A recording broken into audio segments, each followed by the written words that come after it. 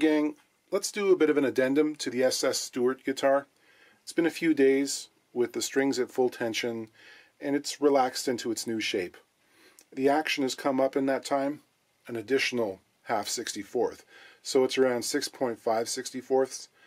It's around a 100 thousandths of an inch or 2.7 millimeters. And the belly has bulged like it's at the hot dog eating contest. You can see from side to side it's giving us an air gap of about 7 or 8 millimeters. Two would suffice. Along the grain it's the same story. A ladder brace guitar usually has a wide brace under the bridge and one more narrower, taller brace behind it. In this case, the brace is not able to counteract the string tension. This can happen over time. If you saw this much deforming in an X brace guitar, we might suspect that the brace ends have come unglued or broken from the top, but you know, this seems fairly common in older ladder brace instruments. They just deform this way. Could it be rebraced? Of course, but we have to reckon with the fact that the soundboard has become used to this configuration that it's in right now. Taking the back off and doing a conversion to an X brace would likely solve that. But again, we're talking pretty big money. On a special guitar, it might be worth it. Um, the owner in this case has very little invested in this beyond the repair cost. So it's so far it kind of makes sense. The bridge doctor can be a help in this situation because it's very cost effective. No, this is not a paid endorsement. I just think they're useful and it's kind of fun to see the effect they have. Everyone asks, will the addition of the bridge doctor change the sound? And the answer is of course yes. Everything changes the sound. Everything. Raising or lowering the action, regluing a loose brace, warming or cooling the instrument, it all has an effect, none of which rivals what happens when you change the strings. It won't fundamentally alter the character of the guitar. This is a ladder braced instrument.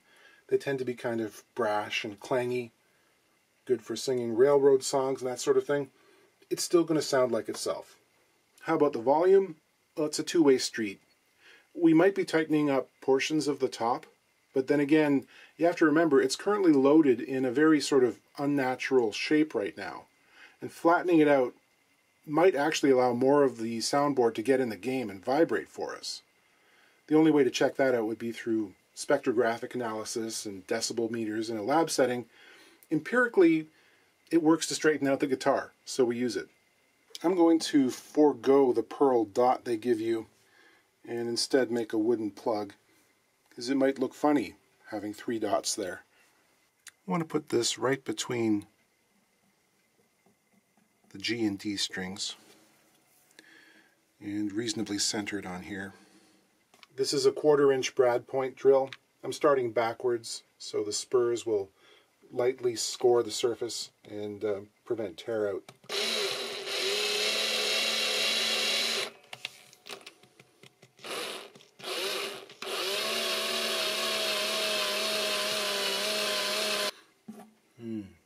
Nothing smells like Brazilian rosewood. Now I'm making a through hole with a 9 64th bit. I'm backing up the wide brace on the inside with a piece of wood so when the bit exits it doesn't tear big chunks out of the surface. I'm countersinking the top of the through hole with a standard quarter inch twist bit for the tapered head of the screw to sit in. Now, depending on the width of the bridge plate in there, there are a couple of options given to you. You can move this uh, central post fore or aft. I think I'll try it um, in the default setting there and see where it aligns with the front of the bridge plate. Um, I might have to move it to the forward one. For the initial setup, I'll install the dowel holder. Sometimes it's possible to do this without having the dowel in place. Other times the depth of the guitar body and the height of the back braces can make it difficult. Yeah, that lines up with the front of the plate. I think that's going to be fine. I inserted the dowel, which applies pressure to the end block and marked it for length. And I need to cut that back by about 3 eighths of an inch, 9 millimeters or so, to leave room for the screw, which will apply pressure to the dowel. Pretty simple system. I happen to have on hand an old broken Brazilian rosewood bridge, from which I can cut a quarter inch plug. I use just a small amount of glue around the top edge trying not to fill up the screw head in the event that this needs to come out at some point. After it's glued in, I will slice it off with a flush cut saw and then uh, pare it away with a chisel and finally sand it smooth before applying a quick coat of oil. This is for those several people in the comment section who tell me that they love it when things go wrong in my videos. I was just stringing this back up with a fresh set of strings and I heard a poppy cracky sound, which is generally speaking not what you want to hear. And the action got real high again. And uh, I noticed this. This previously glued crack has decided to come open and it's taking with it the end of the heel. So, I'm going to glue this thing together again. Put a bunch of cleats on the inside all the way along. I'm drilling a small diameter access hole through the end of the heel and to the intersection between the side and the heel block. Going to squirt a bunch of glue down in there, hoping that at least some of it gets between the side and the block. Back to making cleats.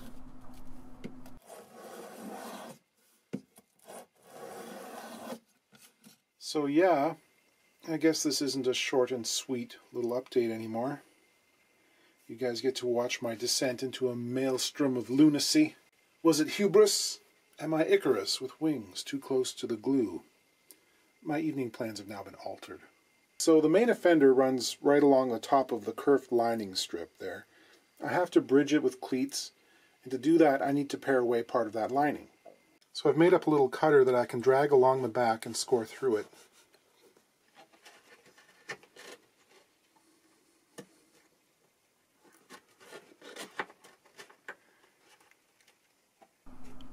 You wonder how I get red knuckles, huh?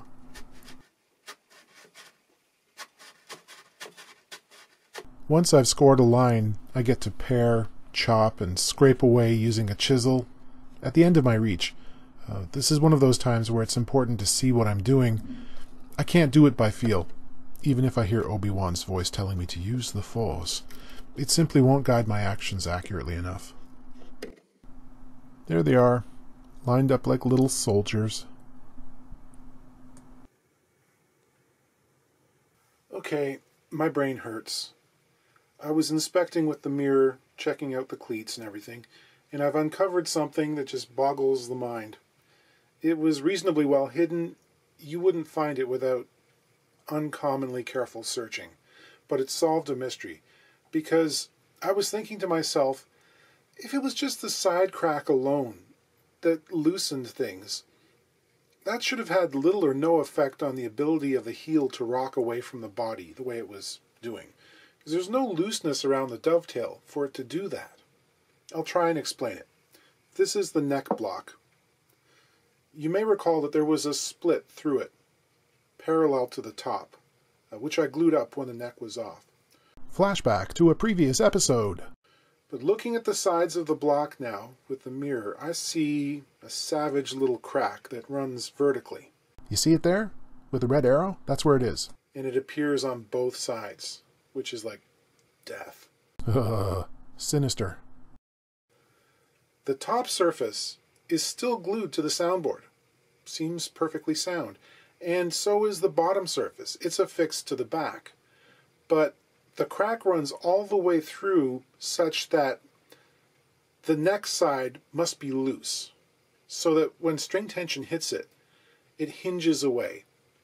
I'll draw a diagram. You won't be able to visualize it and photos aren't really going to do it. Figure 1 is the block from a low 3 quarter perspective. You see the crack. It may run through the front of the dovetail pocket. Figure 2, this is how it behaves under string tension. See how it hinges up there. In figure 3, it's the solution. Short of completely rebuilding this guitar, the best way I can see to move forward is to use screws through the front of the block to clamp it while gluing, and aesthetics be damned. I'm going to leave them in there for insurance. The Neck block is about an inch and a quarter in depth or thickness, which is around 30, 32 millimeters. These screws are 25 millimeters or one inch long, so they're not going to come out the other side unless I sink them too enthusiastically. And I'm going to have to drill pilot holes using a jeweler's drill by hand. It's going to take some time. I know there are people who are going to suggest I have like a flexible hand shaft or something like that. I don't think I could ask it to make the kind of bend it needs to bend through the sound hole. Like it's, I don't own one, but even if I did, I don't think it would work in this case.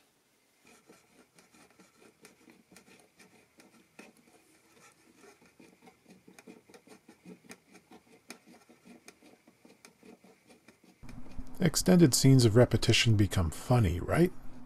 Mm, this is a good time for me to post the retraction. When I was talking about the history on this thing, I mistakenly identified Chicago Musical Instruments as the owner of Harmony and Kay, etc. And that is, of course, wrong. If I'd thought about it for a while, I would have put the pieces together, but I picked that up from a couple of online retailers and a blog post uh, in what is a case of someone on the internet probably a long time ago posting an authoritative sounding piece of information and then everyone who wants to sell one of these things ever after cuts and pastes the inaccuracy into their own descriptions. So you know it happens. When i do the history parts on these i usually spend like five or ten minutes just check a few sites and get my head around it uh, and then I just get right into fixing because I'm not trying to be a primary source musicologist. I don't have time. I wish I did. I love learning these things, and I keep a lot of trivia in my head, but you know, sometimes inaccuracies get introduced. So we'll thank Kent Hughes for pointing that out. He's got a Harmony 1203 on his um, channel that's been converted to an X brace, and there's also video of another SS Stewart. So I'll post the link to his um, channel in the video description. Video description is also where you go to find the link for hats and shirts, because some people were having a hard time finding it. The response on the merch has just been simply fantastic. I mean, I can't thank everyone individually, but I want you to know I really do appreciate the enthusiasm over it. You know, I've made enough that I'm going to try and buy a better microphone for doing my voiceover parts. Having drilled all the pilots, I'm going to go back with a slightly larger diameter drill here. It's larger in diameter than the outside of the threads to provide clearance holes so that, because um, it's going to be very difficult to clamp this thing, obviously, uh, and the two parts I want to make sure that they're together um, so that the first half of the block isn't riding up the threads, if you know what I mean. People who do woodworking know what I mean. You know what I mean. I got to make the holes bigger. Part of the holes bigger. I got to work around the corner and inject glue into the side of the block, which is not an easy thing to do. So I'm going to make an extended syringe using some heat shrink tubing. Just going to slip that on the needle there and shrink it. That should be enough friction to hold it. Don't breathe the fumes. And uh, now I can sort of direct that in there and squeeze as much as I can and get as much glue down into it. I'm going to try to do this as neatly as possible, but it's not going to be very neat. I think volume is going to be a consideration. Might actually have to do it blind. Sorry, guys. For all those who worried about how I removed the tone nails, I've reintroduced screws, and that's an upgrade to the sound. Finally get to release the clamp. And there we go, finally. The action has been stable and nothing's coming apart so far. They don't always go according to plan, you know. And once again, you might ask, was this worth it? And again, the conclusion is maybe. I guess. I mean, it depends on where you want to put your money and your time. This was more difficult than building a comparable guitar. I definitely spent more hours on this than it took the workers at Harmony to put it together. Eh, say la vie. From a qualitative standpoint, I think it actually sounds much better now that I've got the bridge doctor in there and a neck that's not gradually breaking off from the guitar. It sounds more focused. I'm going to do a little riff here on something from the Nutcracker, the Pas de Deux, for those who want to know.